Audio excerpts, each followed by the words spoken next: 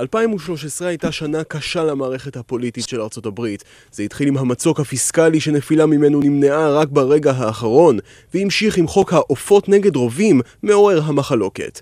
אבל השיא הגיע ללא ספק באמצע חודש אפריל, כשלפתע בקרב אזרחי ארצות הברית התפשטה הבנה.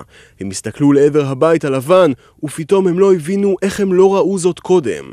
איך הלבן כבר לא לבן כל כך. And someone told me he was black. I just, I, I couldn't believe it. I mean, and then, and then it hit me. I thought maybe he was tanned or something like that, but no. For four years, and I didn't notice that he was black. We had to do something about it. כן, לאחר יותר מארבע שנים בבית הלבן, האמריקנים לפתע הבינו שהם הושיבו שם אדם שחור. זה התחיל כשמועה באינטרנט. דובר הבית הלבן ג'יי קרני התייחס לשאלות שקיבל בנושא בביטול. הנשיא שחור זה מגוחך, אמר קרני בתדרוך לכתבים, והוסיף, הוא לובש חליפות והכל, ואין לו אלבום ראפ אחד. שלושה שבועות לאחר מכן קרני התפטר.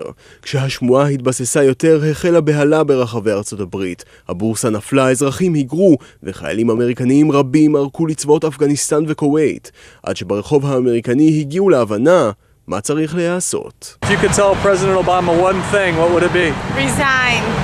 תתפטר הייתה הסיסמה של המאבק הזה.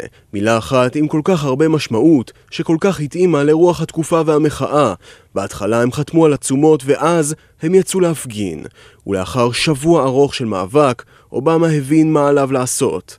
הנשיא ה-44 של ארצות הברית הודה שהוא שחור והלך הביתה. It's a uh,